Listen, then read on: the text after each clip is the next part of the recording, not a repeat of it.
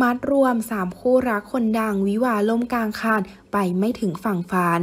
เรื่องความรักเป็นสิ่งที่ไม่แน่นอนจริง ๆ ค่ะ วันนี้อาจจะยังไม่รัก ไม่ได้แปลว่าพรุ่งนี้จะรักกันไม่ได้ ทุกสิ่งทุกอย่างเปลี่ยนแปลงได้เสมอ ตราบที่ยังหายใจอยู่ ตราบใดที่เขายังไม่มีใคร โอกาสก็ยังมีเสมอ ไม่จำเป็นว่าต้องในวันนี้อาจจะเป็นพรุ่งนี้ หรืออีกสักหนึ่งปี หรืออีกหลายปีก็ตาม แต่อย่าลืมว่าความรักอาจไม่ได้จบลงที่ความสมหวังเสมอไป